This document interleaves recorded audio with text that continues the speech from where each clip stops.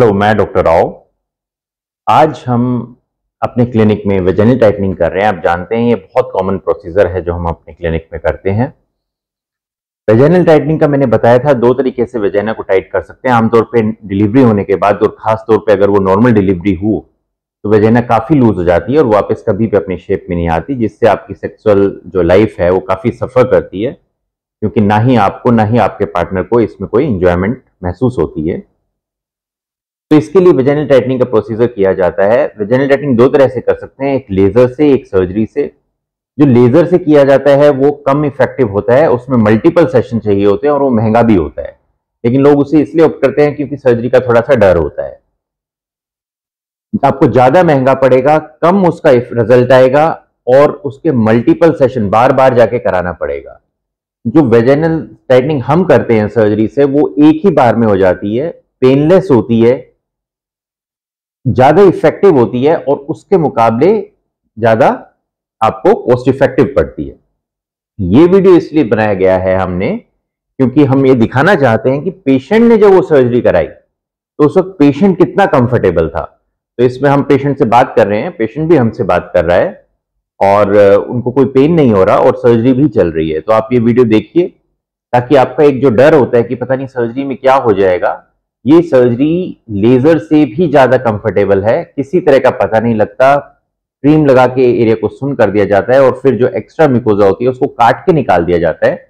आप इमेजिन करो, अगर ये वेजाइना है, उसके अंदर आप कुछ भी डाल दो, वो गर्म कर देगा, ये कर देगा, वो कभी खत्म नहीं होगा क्योंकि एरिया तो इतने रहेगा, उसकी वॉल्स तो ऐसी ही रहेगी। सिकुड़ भी जाएगी तो कितना सिकट जाएगी?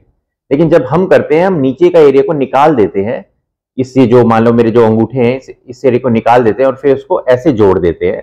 तो वजैना बहुत कम हो जाती है क्योंकि हमने उसको निकाल ही दिया और फिर उसको टाके लगा दिए। घुलने वाले टाके होते हैं, आपको वापस आके कभी उनको निकलवाने की ज़रूरत नहीं पड़ती है। तो देखिए, हम पेशेंट से किस तरह से सर्जरी के दौरान पे बातें कर रहे हैं। मैं आशा करता हूँ आपको ये वीडियो अच्छा लगेगा। इसको लाइक कीजिए सब्सक्राइब कीजिए शेयर कीजिए और हमारे वीडियोस आगे देखते रहिए। आपने अपना टाइम दिया, इसके लिए बहुत बहुत धन्यवाद। देखिए आगे वीडियो में क्या हो रहा है। कल से ये प्रॉब्लम हो रही थी। कितना टाइम हो गया कम से कम इसको? ये जो आपका लूज हो हुआ है वेजाइना कब से आप सोच रहे थे कि वेजाइना टाइटनिंग करानी चाहिए आपको?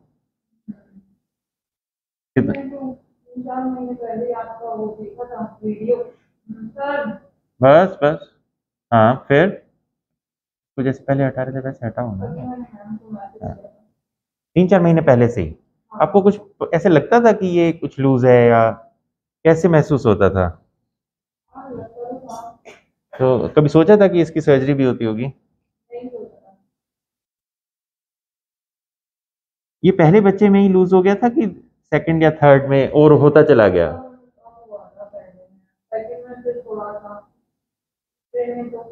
पूरा ही लूज हो गया। जैसे अभी हम जब हमने सर्जरी शुरू की तो आप बहुत घबराए हुए थे। अभी कैसा लग रहा है? अब आपको पता है कि हम कंप्लीट करने वाले हैं आपकी सर्जरी हाँ। अब बताओ, जितना आप घबराए थे, उसके हिसाब से इतनी घबराने की ज़रूरत थी?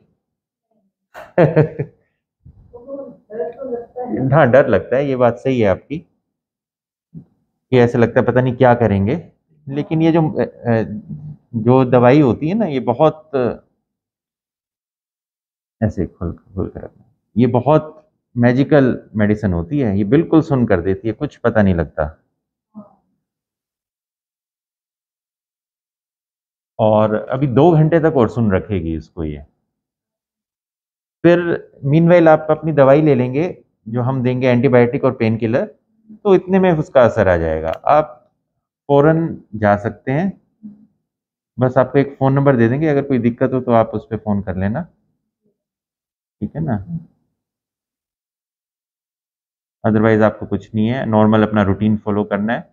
एक पैक डाल देंगे वो तो मैंने बताया था कि एक पैक डालेंगे जिसको कल सुबह निकालेंगे आप। पेन नहीं होगा आपको। जैसे अभी कोई पेन नहीं हो रहा है ऐसे घर जाके भी कोई पेन नहीं होगा। गाने सुन रहे हैं आप आप? क्या देख रहे हो? न्यूज़ देख रहे हैं? अच्छा। ठीक है। हो गया। बस पाँच मिनट और लगेंगे ठीक है?